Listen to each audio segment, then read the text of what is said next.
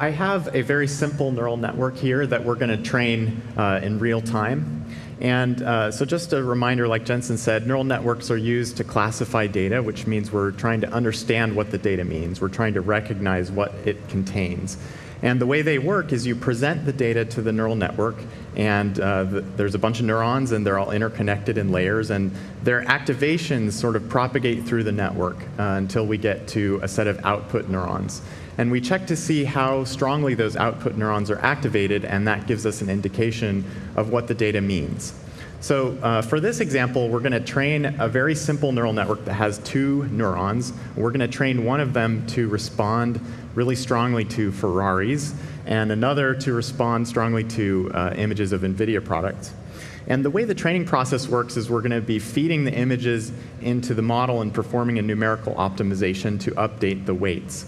And the weights sort of describe the interconnection between these neurons. So as we train the model with more and more data, the error is going to decrease, so our, our accuracy is going to improve. And we're going to see that visually uh, here. So um, uh, in the middle of the screen, you're going to see the weights of the model actually updating, uh, and the error, we're going to plot that as, as we uh, train the network. And on the right, we're going to have a test set. So we picked some uh, representative images of NVIDIA products and Ferraris, and uh, you can see underneath them is a little indicator. So if there's a red X, it means that our, our network is doing the wrong thing. And if there's a green check, it means we're doing the right thing. Okay, so let's go ahead and get started here. So I'm going to start feeding in these images. And uh, you know, if it was random chance, uh, just flipping a coin, you'd expect to get it right about 50% of the time. So um, after training it with a really small test set on a few images, we're doing a little bit better than random chance. Um, but we're, we're still only getting about two thirds of the images right. So the way to overcome this problem is we're going to increase the computational complexity. We're going to increase the training set, give it more images, and uh, later we will increase the complexity of the model. So let's uh, feed in a bunch more images, and here we go. The weights are updating. Uh, we can see the test images are being classified. Okay, so we fed in these 72 images, and now we have a much better classifier that uh, knows the difference between our training set images of Ferraris and our training set images of NVIDIA products. Okay, so that's really great. Um, let's play around with it a little. So Jensen, I've loaded up some other things that might confuse it uh, because we've given it, you know, 72 images is still pretty small, and our network here is still not very large. It's not a very deep network. Um, so why don't you tell me which ones you want me to classify, and I'll, I'll tell you what our network thinks they are. Try the green Ferrari. Who It's makes that? That's right. That's you got right. it right. Because our, our network figured out that NVIDIA products are often green for some reason. There's a strong Uh-huh. correlation between NVIDIA and green. Okay, well, tell me what, what's that product on the lower, on the upper, upper right, upper right. The Italian flag is a Ferrari, evidently. Well, you could have gone either way, right, on this one.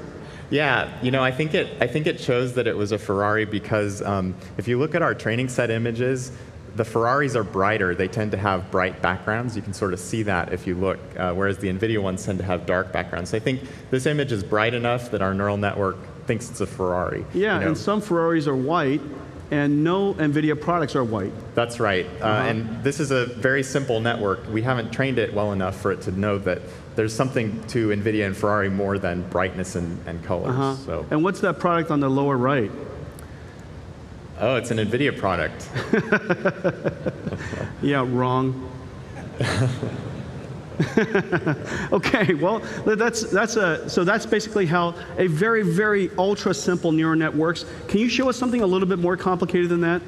So talk Yeah. to us about some latest, latest breakthroughs. Great. So I'm going to switch over to this other computer here. Um, so we have a neural network that's uh, actually very uh, deep and has many, many neurons and was trained with a lot of uh, computation. Actually, it was trained on seven GPUs running for two weeks. So it took about exafl- uh, 25 exaflops to train this classifier. And it was uh, done by our friends at New York University and, and Rob Fergus and Yann LeCun's group. And uh, they trained it on the ImageNet benchmark, which is uh, a really interesting data set of a lot of natural images uh, with a lot of different classes. I think this one was trained with 1,000 classes, so it knows how to uh, differentiate between a thousand different kinds of things. And one of the things that it's pretty good at is differentiating between breeds of dogs. So we asked all of you guys to tweet in some pictures of dogs, and I've grabbed a few of them to put up here. And Brian, this isn't just about recognizing a dog. This is recognizing a breed of dog.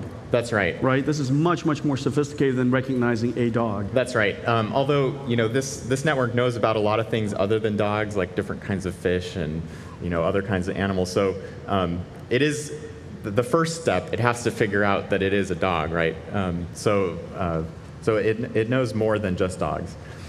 So Um, just to give you, a, give you a sense, if it takes 25 exaflops, suppose you have to do that continuously, forever, um, that would be equivalent to uh, 25,000 or 5,000 times more powerful than the most powerful computer on earth today. So that just give you a sense. If you were to train this brain continuously, um, it would take a computer that powerful. Okay, keep going.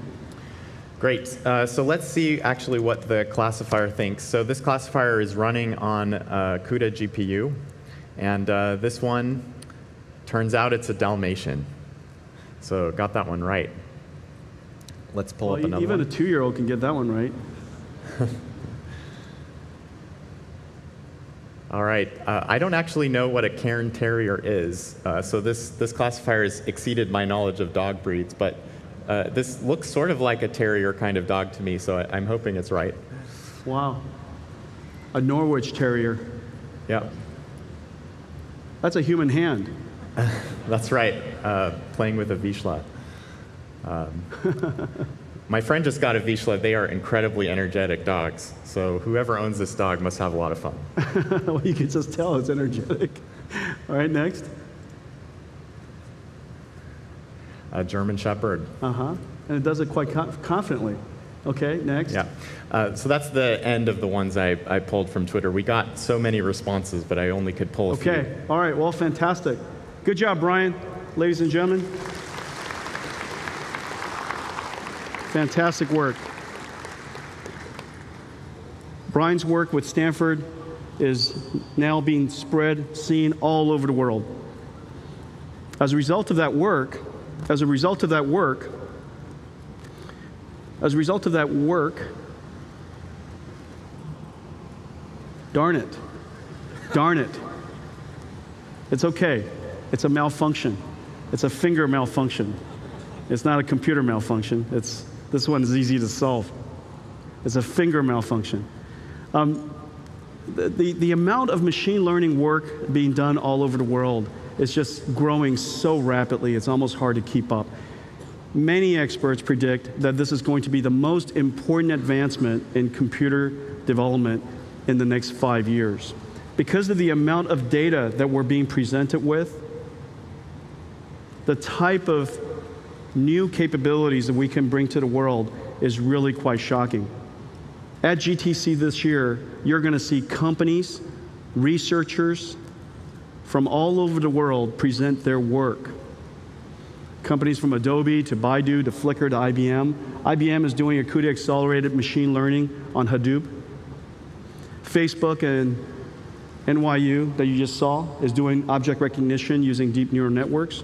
Yandex is here, the leading search company in Russia, using machine learning, learning and ranking research results. Denso from Japan is here, using deep neural networks for auto- automotive safety. And Baidu from China, the leading search company in China, is using GPU trained deep neural networks for speech recognition. And this is really wonderful real time translation. Gene Roddenberry's vision of the universal translator is finally nearly upon us. You could literally talk into a phone, talk into a speaker. The voice is translated by a deep neural network, and what comes out on the other side is hopefully your spoken voice, but in a completely different language. This is just incredibly exciting. So I'm glad you guys are here. You're going to have a lot to learn about machine learning and uh, lots of ideas to share. Really exciting. Number one, the big data that we're getting, we're getting bombarded by And the amount of computational resource is ultimately what's going to turbocharge this field. So, super excited about it.